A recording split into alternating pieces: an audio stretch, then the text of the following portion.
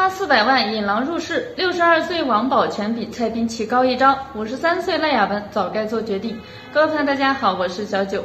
巴黎奥运会，中国女排是面临着巨大的考验。目前奥运赛，中国女排已经是错过了直通车，接下来还要经过几场苦战，才有机会拿到巴黎奥运会的门票。到了巴黎奥运会的比赛上，我们还是避免不了要和塞尔维亚以及土耳其、意大利这样拥有顶级强力接应的球队交手。那么，中国女排的现存实力能能否扛得住呢？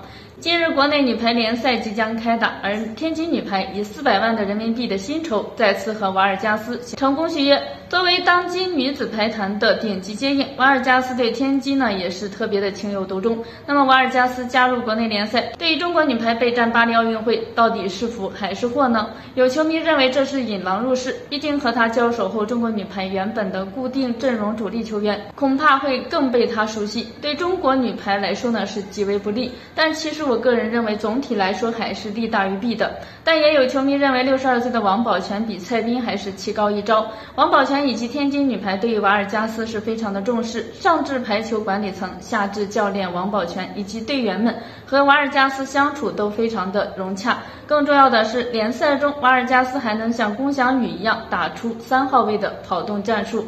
从这一点来说呢，王宝全精雕细琢瓦尔加斯，确实让他发挥了更大的潜力，同时也给中国女排在明年巴黎奥运会上培养了一个技术更加全面的对手了。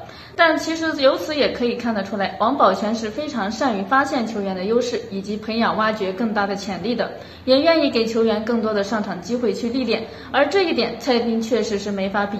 赖亚文也该早做决定。毕竟蔡斌执教的短板和欠缺实在是太过于明显，而巴黎奥运会中国女排也不容乐观，换上王宝泉可能会更好。那么大家怎么看呢？欢迎评论区留言。这期视频到这里，我们下期见。